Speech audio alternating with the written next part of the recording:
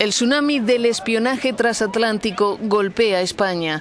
El embajador estadounidense en Madrid, James Costos, acudió este lunes al Ministerio de Asuntos Exteriores para rendir cuentas por el supuesto espionaje de Estados Unidos en territorio español.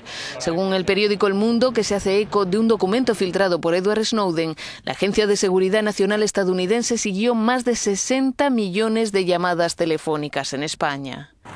En Alemania el debate se centra en si Barack Obama sabía o no que el teléfono de Angela Merkel estaba siendo espiado.